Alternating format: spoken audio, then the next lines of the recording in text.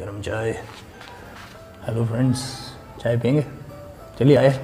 चाय पीते पीते आज डिस्कस करते हैं पाँच ऐसे पॉइंट्स जो कि आपको मसल बिल्डिंग प्रोग्राम में और तेज़ी लेके आएँगे। यानी कि आपकी मसल बिल्डिंग को बढ़ाएँगे और फैट को घटाएँगे। तो क्या है पाँच पॉइंट आइए देखें इस वीडियो में।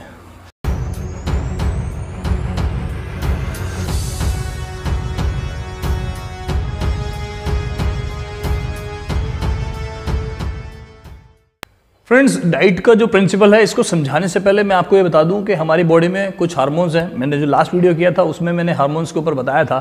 कुछ ऐसे हार्मोन्स हैं जो हमारी बॉडी को बनाने में, यानी कि एनाबोलिक हैं, जो हमारी बॉडी को बनाने में हेल्प करते हैं।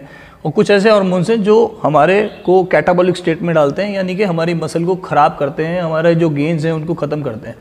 तो जो लास्ट वीडियो था, उसमें मैंने आपको बताया था टेस्टेस्टेरॉन इस वीडियो में मैं आपको एक चीज़ और बताना चाह रहा हूँ, वो है जो हमें एक एनाबॉलिक एजेंट है हमारी बॉडी के अंदर जो कि है इंसुलिन जी हाँ आपने सही सुना इंसुलिन अर्ली नाइन्टीज़ में और 2000 के जो स्टार्टिंग में आ, तब के बॉडी बिल्डर्स ने इंसुलिन को यूज़ करना शुरू किया था। आ, जो लोग नॉलेज रखते हैं बॉडी बिल्डिंग के बारे में नॉलेज लेना या इसके बारे में पढ़ते रहते हैं सुनते रहते हैं देखते रहते हैं उन लोगों को पता होगा कि ऐसा होता था।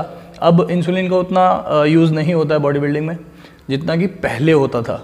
तो इंसुलिन क्या है? एक ये एनाबॉलिक एजेंट है हमारी बॉडी के अंदर, यानी कि हमें मसल को बढ़ाने में हेल्प करता है। तो सीधा सीधा फंडा ये है कि हमें अपने डाइट के प्रिंसिपल्स को इस तरीके से सेट करना है कि हमारा को, हमारी बॉडी जो है इंसुलिन से फ़ायदा ले सके। इंसुलिन कब प्रोड्यूस होता है बॉडी में? इंसुलिन प्रोड्यूस तब होता है जब हम कोई भी कार्ब वाली चीज़ खाते हैं, यानी कि हमारा ब्लड शुगर लेवल ऊपर होता है कार्ब्स कन्वर्ट होते हैं ग्लूकोज में, और ग्लूकोज की वजह से हमारा ब्लड शुगर लेवल ऊपर आता है।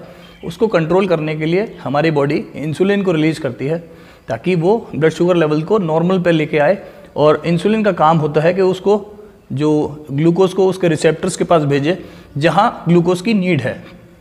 अगर आपकी मसल की नीड होगी ग्लूकोज की तो मसल के पास जाएगा, और अगर मसल की नीड नहीं है और बाकी ऑर्गन्स की नीड नहीं है तो वो उसे फैट सेल्स के पास भेज देगा। यानी कि उस टाइम वो काब आपको फैटी करने में और ज़्यादा मदद कर रहा है, ना कि आपको आपको मसल बिल्डिंग में हेल्प कर रहा है। ठीक है तो अब शुरू करते हैं पहला पॉइंट। फ्रेंड्स, आप में से बहुत सारे लोग ये समझ रहे होंगे कि इंसुलिन, जैसे मैं बोल रहा हूँ, उस हिसाब से यानी कि इंसुलिन को बहुत ज़्यादा अगर बॉडी में बहुत ज़्यादा प्रोड्यूस हो तो बहुत अच्छे गेंस होंगे, जबकि ऐसा नहीं है। हमें इंसुलिन की सेंसिटिविटी को रखना है, बट एक लेवल पर बनाए रखना है। उसके लिए करना क्या होगा? वो है हमारा आज का पहला पॉइंट, कि eat at a regular interval यानी कि आपको एक रेगुलर इंटरवल पे, जैसे देखिए ढाई से तीन घंटे के इंटरवल में एक मील लेना है, उससे होगा क्या? उससे आपके जो इंसुलिन के लेवल हैं, वो ड्रॉप नहीं होंगे बहुत ज़्यादा, क्योंकि जैसे आपने कुछ भी काब वाला आइटम खाया तो आपको, आपकी बॉडी इंसुलिन रिलीज़ करेगी, और उसके बाद में धीरे धीरे इंसुलिन का लेवल बॉडी में कम आ जाएगा। अगर आपने बहुत देर तक नहीं खाया तो इंसुलिन का लेवल बहुत ज़्यादा ड्रॉप होगा। बहुत नीचे पहुँच जाएगा। और फिर आपने जब अचानक से ज़्यादा खा लिया, ये सोच के कि ज़्यादा इंसुलिन बनेगा, क्योंकि अगर मैं ज़्यादा काप्स खाऊँगा तो ज़्यादा इंसुलिन रिलीज़ होगा बॉडी में। तो क्या होगा कि इंसुलिन फिर स्पाइक होगा। और फिर आप बहुत देर तक खा नहीं पाएँगे। ऑब्वियसली बात है, अगर आपने ज़्यादा खाया तो आप बहुत देर तक नहीं खा पाएँगे। तो उस केस में क्या होगा कि इंसुलिन स्पाइक्स होंगे। ऊपर नीचे ऊपर नीचे। तो इस तरीके से इंसुलिन स्पाइक्स बनेंगे, जो कि आपके लिए सही नहीं है। मेटाबॉलिज्म एक तरीके से ख़राब करने वाली बात है ये चीज़। आप मेटाबॉलिज्म को बनाए रखें, यानी कि एक लेवल मेंटेन रखें कि थोड़ा खाया, यानी कि थोड़ा सा इंसुलिन बॉडी में रिलीज़ हुआ। उसके बाद जैसे अगर वो थोड़ा सा ही ड्रॉप होता है, फिर हमने कुछ खाया। तो इस तरीके से एक लेवल पर इंसुलिन बना रहेगा। वो ज़्यादा अच्छा सिनेरियो है। अब चलते हैं दूसरे पॉइंट पर। फ्रेंड्स दूसरा पॉइंट है eat your proteins healthy fats and fibres before you eat your carbs ये क्या है? इसमें आप सीधा सा फंडा है। आप जब भी कोई मील खाते हैं तो उसमें आपने ये सारी चीज़ें खानी हैं। आपने प्रोटीन्स खाने हैं, आपने हेल्दी फैट्स खाने हैं, आपने उसमें फाइबर भी लेना है। उसके बाद, यानी कि उसी मील के दौरान ही, एक मील में ही, उन चीज़ों को खाने के बाद आपने अपने काब्स वाली आइटम को खाना है। देखिए इससे होगा क्या फ़ायदा?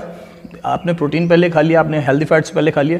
तो अब आप कंपैरिजन में, जैसे कि पहले काब्स ज़्यादा खाते थे ऑलरेडी आपने कुछ हिस्सा अपने पेट का भर लिया तो ऑब्वियस सी बात है कि अब आप काब्स कम खाएँगे। काब्स कम खाने से इंसुलिन सेंसिटिविटी जैसा कि मैंने पहले बोला है, नहीं होगी बहुत ज़्यादा। एक रेगुलर इंटरवल पे आप खा ही रहे हैं तो उससे इंसुलिन का लेवल जो है बहुत ज़्यादा ऊपर नीचे नहीं होगा। हमें इस तरीके से खाना है और इस तरीके से खाने में एक फ़ायदा और होगा कि हमारी बॉडी फैट की तरफ़ ज़्यादा ना जाके, मसल बिल्डिंग की तरफ़ ज़्यादा रहेगी, क्योंकि प्रोटीन्स को यूज़ करती है हमारी मसल्स, और उसके साथ में अगर फाइबर और हेल्दी फैट ऐड करेंगे तो एक तरीके से हम अपना डाइजेशन को थोड़ा सा स्लो डाउन कर रहे हैं। यानी कि अगर कोई फास्ट डाइजेशन वाली चीज़ खाई है, उसमें हमने ये सारी चीज़ें ऐड कर दी, हेल्दी फैट्स ऐड कर दिए, फाइबर ऐड कर दिए तो उससे उसका डाइजेशन थोड़ा सा स्लो डाउन हो जाता है, जो कि फ़ायदा करता है। उसको फैट सेल्स के पास ना जाने से रोकता है और आपको मसल बिल्डिंग की तरफ़ रखता है। अब चलते हैं थर्ड पॉइंट की तरफ़। फ्रेंड्स यहाँ मैं आपको एक बहुत ही एक ऐसी चीज़ बताने वाला हूँ थर्ड पॉइंट में जो कि आप अपने फाइबर्स को ऐड करने के लिए ज़रूर ऐड करें। बहुत ही कमाल की चीज़ है। यह है ईसब गोल। जी हाँ ईसब गोल। इसे सीलियम हस्क भी बोलते हैं इंग्लिश में। आ, जिन लोगों को नहीं पता इसलिए मैं बोल रहा हूँ ताकि दोनों भाषा में ईसब गोल सीलियम हस्क इसमें करना क्या है? इसके छोटे छोटे पाउचेस मिलते हैं बाज़ार में, या फिर आप करीब करीब 10 ग्राम की क्वांटिटी दिन में तीन से चार बारी या दो से चार बारी, जैसा भी आपको ठीक लगे उतना आपने कंज्यूम करना है बिफोर मील जैसे कि मैंने पहले बताया पिछले पॉइंट में कि प्रोटीन हेल्दी फैट्स और आपको फाइबर पहले लेना है। तो फाइबर में आप ये सीलियम हस्क को ऐड करें और मील से पहले खाएँ।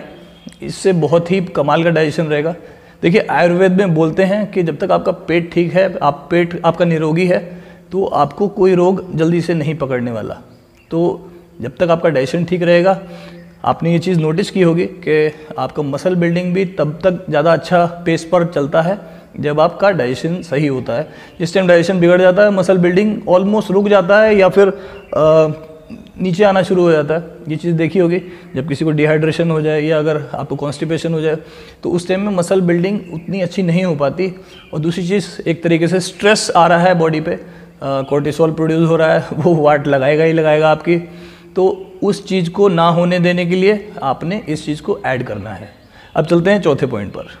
फ्रेंड्स फोर्थ पॉइंट एक एक्सेप्शन है जो मैंने पॉइंट नंबर टू बताया था, यानी कि जिसमें मैंने बताया कि आपको हर मील में प्रोटीन हेल्दी फैट्स और फाइबर पहले खाना है काब्स को बाद में खाना है।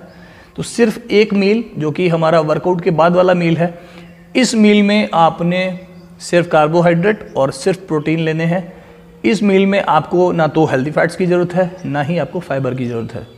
बल्कि मैं बोलूँगा कि इन चीज़ों को बिल्कुल भी, बिल्कुल यूज़ ना करें आफ्टर वर्कआउट क्योंकि उस टाइम आपने अपनी एनर्जी पूरी तरीके से लूज़ कर दी है जिम में वर्कआउट के दौरान। तो इस टाइम जितना जल्दी आप अपने मसल सेल्स के पास में प्रोटीन को और काब्स को पहुँचाएँगे। उतना अच्छा है।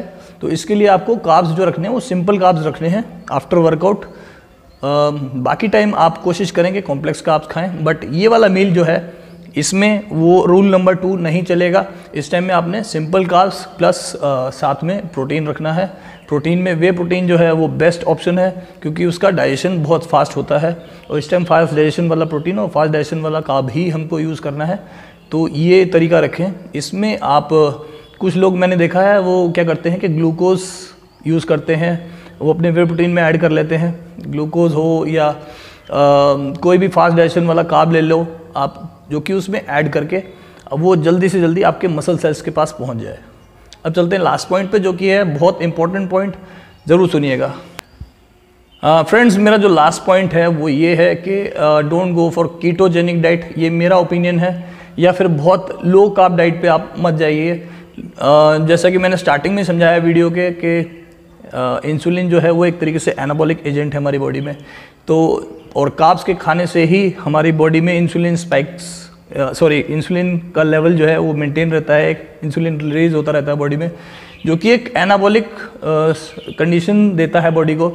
uh, अगर आप बहुत लो काब्स पर या कीटोजेनिक डाइट में जाएँगे तो उसमें क्या होगा कि बॉडी इंसुलिन सेंसिटिव नहीं रहेगी। उसमें आप अगर बहुत लंबे टाइम तक करते रहेंगे ये ज़रूर है कि हाँ इससे फैट रिडक्शन में कई लोगों को फ़ायदा होता है बट अगर आप मसल बिल्डिंग प्रोग्राम में हैं तो कीटोजेनिक डाइट का कुछ दिन हो सकता है कि आपको फ़ायदा दिखाई दे बट अगर आप उस चीज़ को लंबे टाइम तक रखते हैं तो उससे नेगेटिव इफ़ेक्ट्स ज़्यादा आने लगते हैं, या फिर जब आप दोबारा काप डाइट पर वापस आते हैं तो फिर से फैट पुट ऑन होना शुरू हो जाता है, यानी कि फिर फैट परसेंटेज बढ़ता हुआ दिखाई देता है।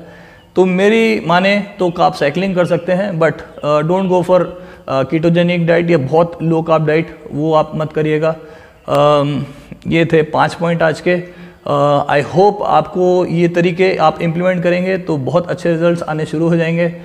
जल्दी से जल्दी इनको इम्प्लीमेंट करके देखिएगा। एक दो हफ़्ते में आपको रिज़ल्ट आने शुरू हो जाएँगे और उसके बाद आप मेरे को कमेंट कर सकते हैं। अगर ये वीडियो आपको अच्छा लगा हो लॉजिकल लगा हो तो लाइक कर सकते हैं।